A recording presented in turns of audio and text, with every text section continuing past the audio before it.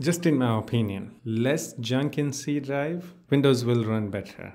That's all I'm thinking. So that's why I'm just keeping the C drive clean. So I'm doing a one really cool experiment with my Windows 11 that is I want to keep my C drive clean as much as possible. I don't want to put any files or programs in it because longer you use your Windows, over time it becomes really slow.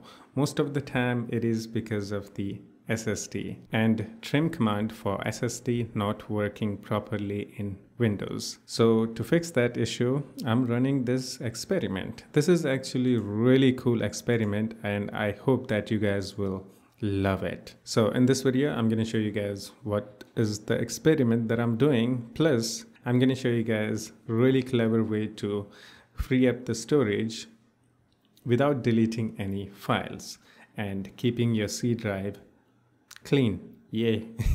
so I have multiple drives here Windows drive that is the main drive the C drive and it is only 500 gigabytes of SSD I actually have larger SSD that is the D drive here. You know the reason why I did not install Windows in it because I want to keep my C drive clean. So if I want to keep my C drive clean it doesn't need to be larger. So it's still like 500 gigabytes which is okay, I'm actually not gonna put any heavy load in it. So that's the whole point of me doing this experiment. Now here is the really cool thing. This is my download folder and I have some files downloaded here. If I go to the properties of this folder, you will see this download folder is not actually in C drive, which is the default location of this folder in Windows. Instead, it is in D drive. And guess what? Anything I download from the internet, it automatically goes to this folder. It doesn't go to the C drive. Not only that, all the folders you see here, documents, pictures, music, videos, even the desktop, is not in C drive. They are in different drive. In my case, they are all in D drive. So I'm using something called symbolic link. This is the description of that.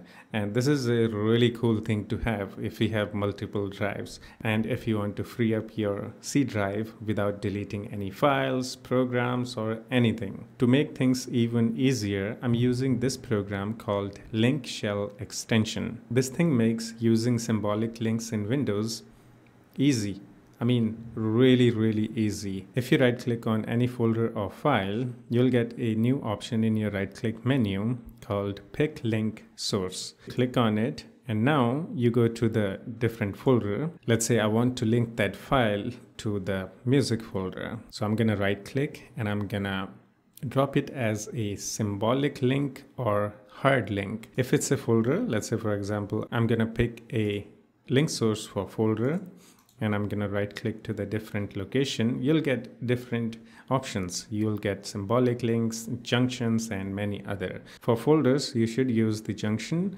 and for files you should just use symbolic link i don't know if i can explain you guys how this thing actually works but let me try i'm gonna i'm gonna try my best all right so let's say this is a symbolic link folder file and this is a original file all right and this is our operating system. These two are actually connected to each other all right this is just a link and this is the original file. But the operating system thinks that symbolic link is actually a file or folder the original folder location or whatever. We know that this is a symbolic link. This is not a actual file or folder. The windows operating system reads the symbolic links as a actual file. Let's try this one more time. Another explanation. I'm sorry if I'm being lame. So here you can see in my user folder, there are a bunch of junction links that I have created for downloads folders and other folders. They are not actually here and they are not consuming any space from C drive, but the operating system thinks that they are here. You can see downloads folder location is here in C drive, which is correct because it is actually here. But if we go to the link properties, here you can see this is a junction type link. because it's a folder and for folder you should use the junction link if it's a file you should use the symbolic link so here you can see the target or the actual location of this folder is in D drive so every time I download anything from the internet no matter what browser or download manager I use they will download all those files to this folder automatically because the operating system thinks that the downloads folder is actually in C drive. I think I'm making this video longer and not getting into the point. Now we actually get into the point. All right. So now you have a little bit of idea what experiment I'm doing with this. You know, I'm just trying my best to keep my Windows drive clean. But what if your Windows C drive is already full or it is getting full and you want to free up the space?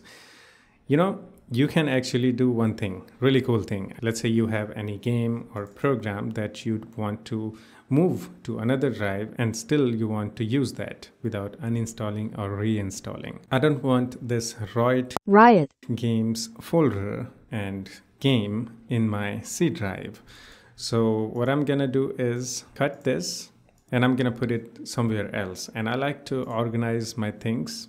I have some folders created for you know symbolic links i you know try to manage them very well and you can see there is icons and whatnot so i'm gonna paste that file in this d drive's program files now it's gone from the c drive so what i can do is now right click and pick link source all right and i'm going to right click on the original files source remember this is where this folder was right i'm gonna right click and i'm gonna drop it as a junction if it was a single file I would use a symbolic link, but since this is a folder, I'm gonna have to use the junction option. So I'm gonna click on that.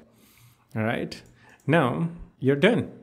Yeah, the operating system still thinks that this game is still in C drive, the original place, but actually it's not here and it's not taking any space of the C drive. If you right click on the properties of Riot Games, then you'll see it's in C drive and it's taking the space, but actually it's not. If I go to the link properties, you can see it's here, not in here. I think it's still like a little bit confusing, but you can actually move around most of the things. If you don't have permission to that file or folder that you want to move around, then you can take ownership of that. I'm using a Nilesoft shell, which gives you really cool right click menu in Windows 11 and also gives you some additional options such as this take ownership option. Possibilities are endless. You can actually slim down your entire C drive uh, if you have time and dedication, you may have to do it one by one because some files can't be moved or deleted. I don't recommend you guys to touch any of the Windows system files.